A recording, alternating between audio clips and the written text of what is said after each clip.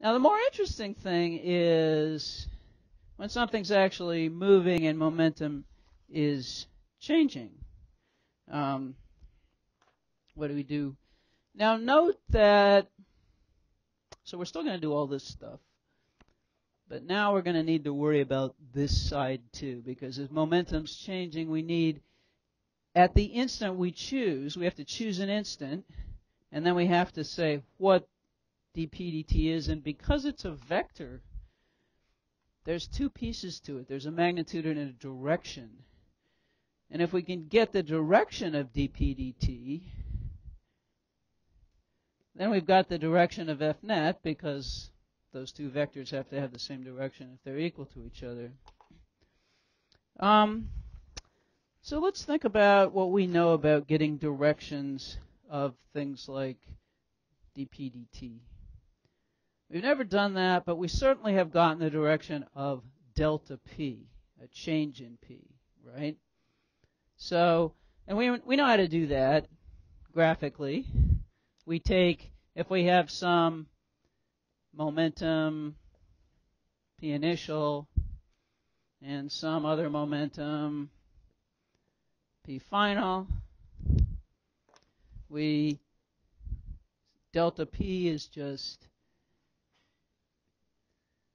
P final minus P initial, of course. And so we put the vectors tail to tail, and then we draw the resultant vector which way?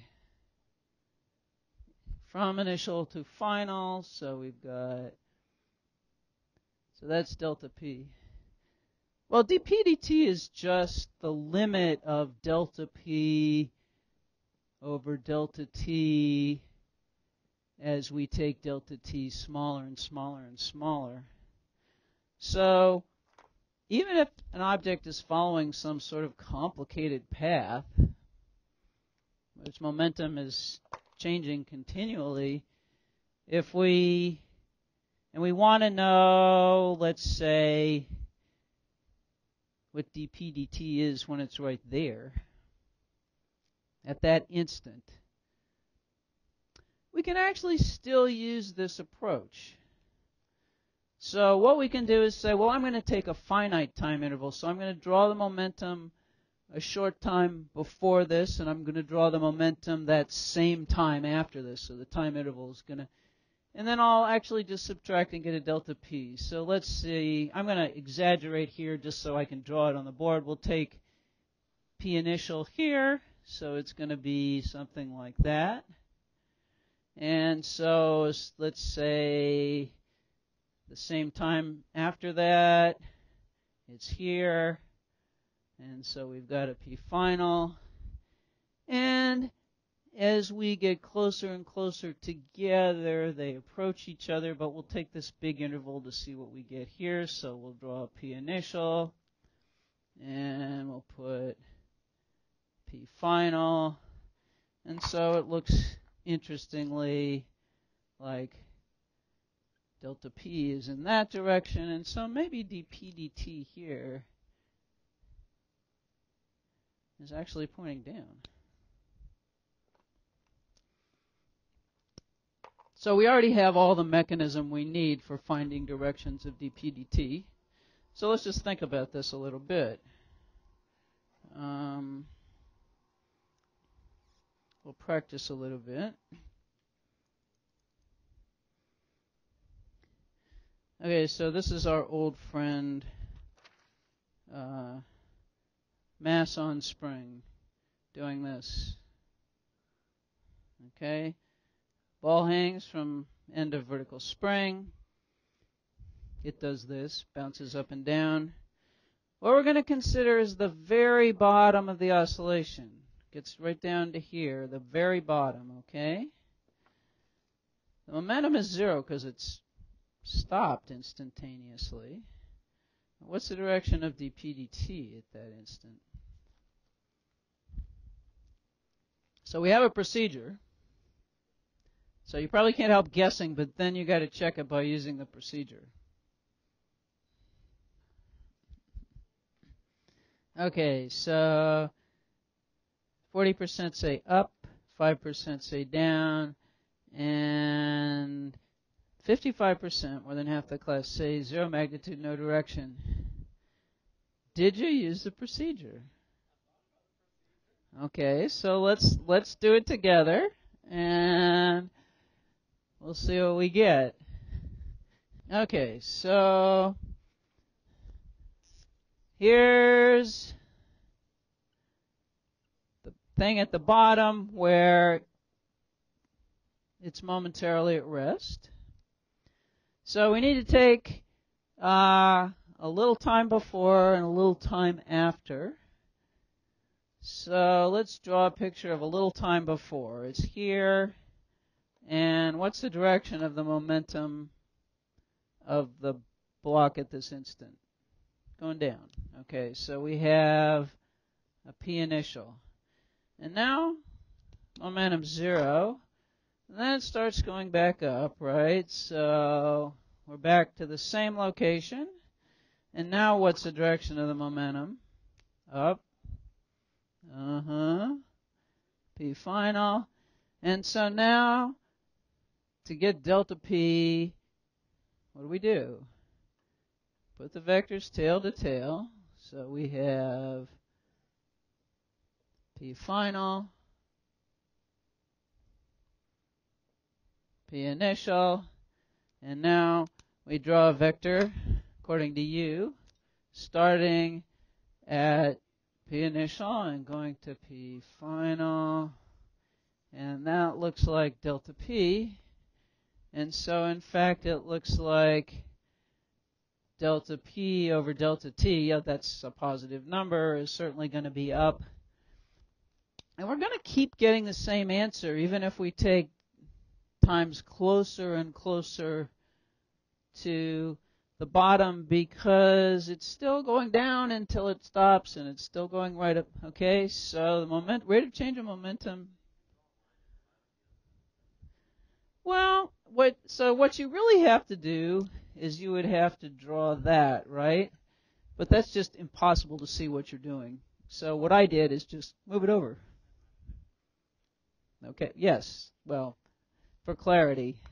But but so this is this is this is what you do and I just moved it over so we could see what we were doing.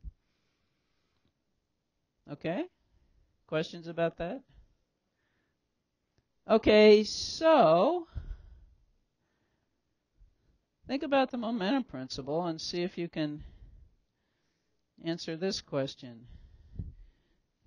Where so we're going to apply. We've. Does everyone agree that dp/dt, when this is at the bottom, dp/dt is in fact up? We okay with that? We're good with that. All right. Apply the momentum principle. What's the direction of the net force at that instant?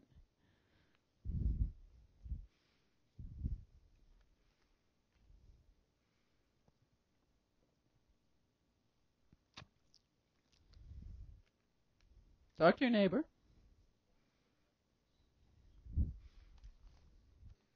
Okay, well, 86% take the momentum principle seriously. Yes.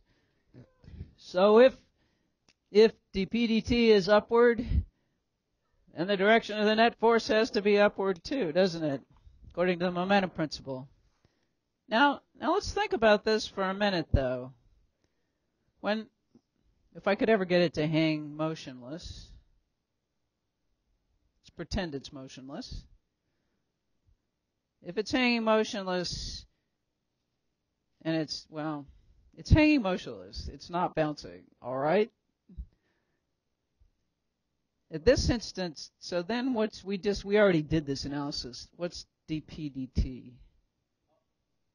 Wait. It's zero, isn't it? When it's it's hanging motionless because uh, a microsecond before now it's motionless, and a microsecond after now it's motionless, and zero minus zero is zero. So, so dp/dt is zero, and the net force is zero. That's statics, right? What's different? How come we just got that the net force is up with the bottom of this? It's motionless, isn't it? Well, we concluded that was our our logic was we know dPdt is up, so the net force must be up. And in fact, it's down there. The Earth is pulling it down. Something better be pulling it up. So the net force better be up to make it go up again. The difference is it's only momentarily motionless. It's moment it's motionless for an instant, but not forever. And notice how long the spring is. Okay, so if it just hangs here, more or less motionless, the spring is stretched that much, but at the bottom, the string is, spring is stretched more, isn't it? So it's going to exert a bigger force than if it's just hanging there balancing gravity. So in fact, it is going to pull it up. So physically, it actually does, it actually does make sense. And so we have to be a little careful. The fact that something is motionless at a given instant doesn't mean that its momentum is not changing. Okay, that's the beauty of calculus. Instantaneous rate of change is not equal to the value of the. So, so, uh, so we have to be careful. Okay, let's do one other dpdt thing. Here's uh, here's a comet in some orbit around the sun. Uh, so the turquoise arrow there is the initial momentum, and the tail of the arrow is at the location where that's measured. The second arrow labeled P final is the momentum at the end of some time interval. Okay, and the tail is at the location where it's measured. And we've got three red arrows there labeled 1, 2, and 3. And the question is which of these red arrows represents delta P, the change of momentum of the comet between those two instances?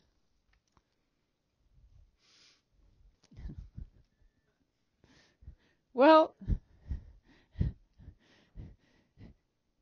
it's it's actually just gotten worked out for you here, right? so here's P initial, there's P final. You need to draw, okay, so follow the procedure. So, so that suggests that at some intermediate instant here-ish, uh, dp dt sort of looks like that.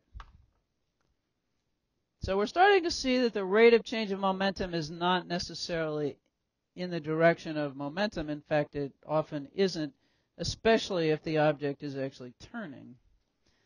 So let's look at an example uh, that may look sort of familiar to some of you at this point.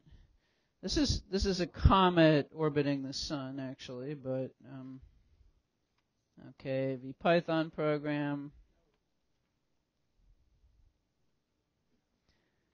Okay, so here's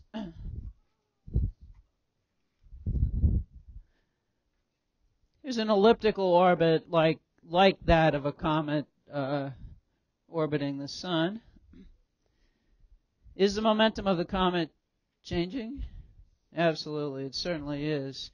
Let's let's look at the rate of change of momentum of the comet. Let's put let's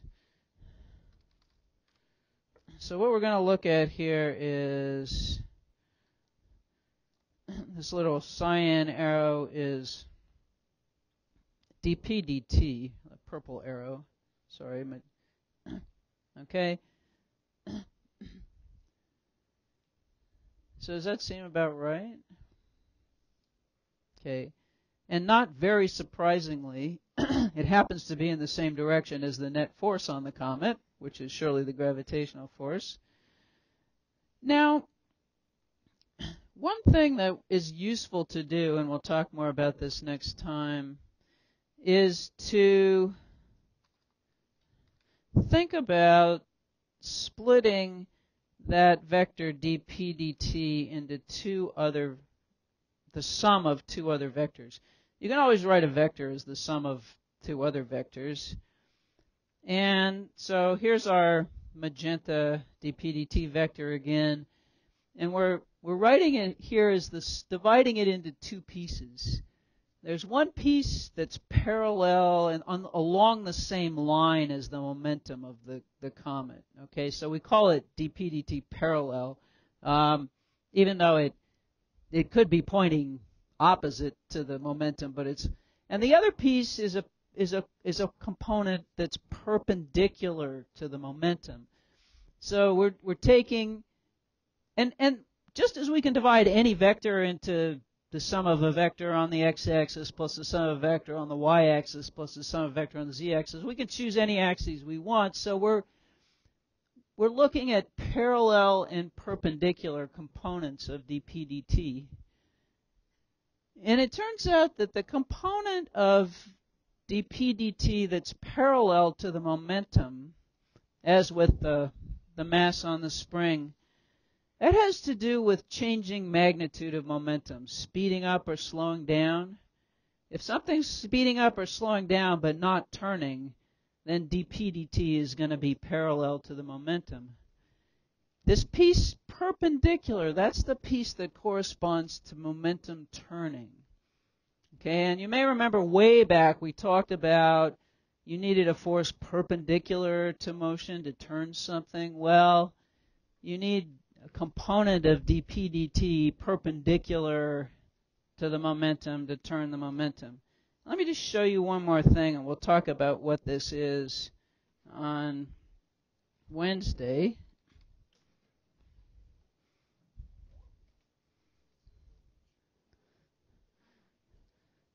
So the red the red line's the orbit. What's this green circle?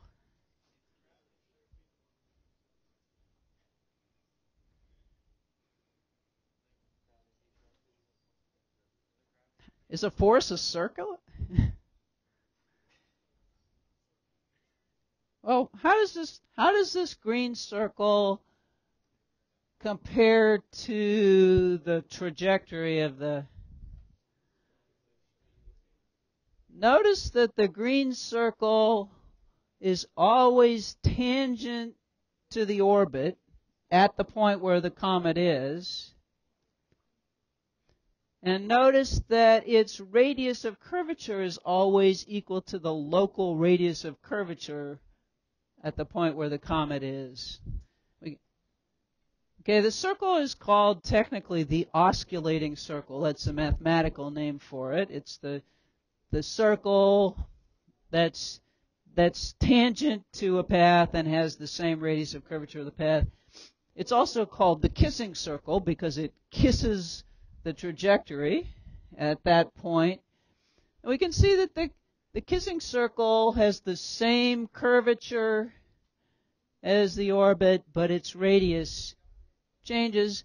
And we can also see that this perpendicular component of dp dt points toward the center of the kissing circle. So we'll talk more about that next time.